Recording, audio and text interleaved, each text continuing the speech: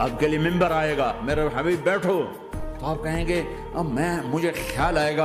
अगर मैं बैठा तो ये मुझे लेके जन्नत में ना चला जाए। रोज़ अल्लाह कह रहा, बैठो।